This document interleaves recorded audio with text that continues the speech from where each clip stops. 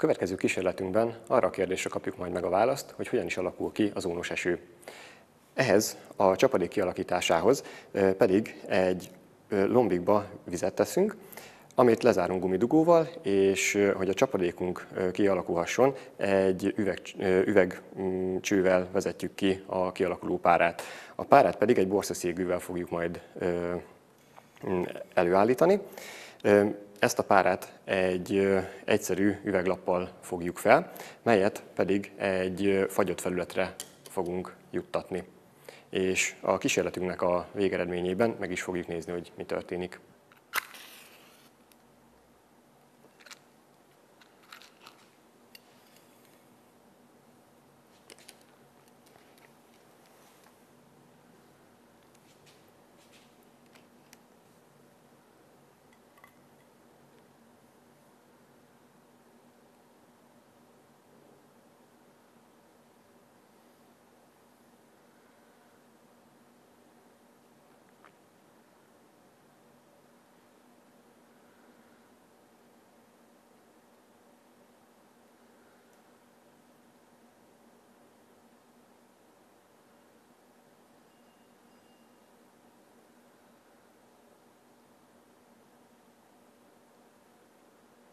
Most megkezdenek kicsapódni.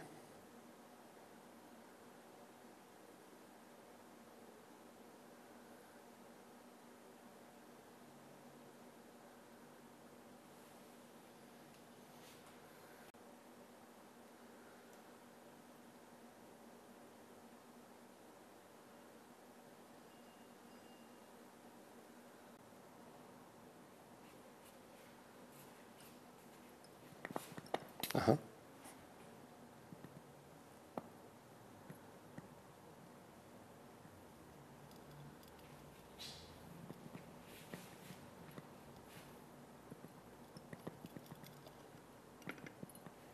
Kicsit kihúzom róla, hogy ne bugyogjon annyira.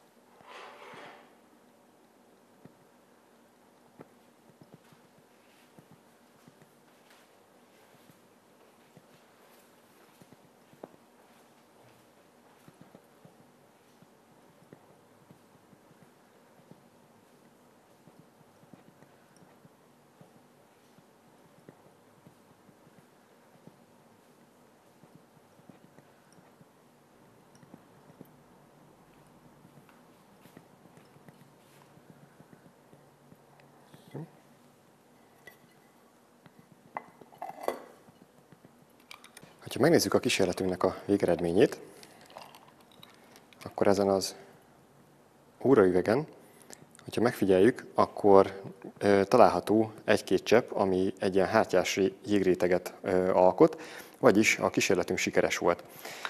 Ezzel be tudjuk mutatni a zónos esőnek a kialakulását, vagyis a nagy magasságból érkező vízformájában földfelé tartó csapadék, az leérkezik ugye a földre, amit itt most egy negatív hőmérsékletű, tehát fagyott felületként mutatunk be, és ezen a fagyott felületen a vízformájában érkező csapadék megfagy, és így hoz létre akár az utakon jégpáncélt az ónos eső.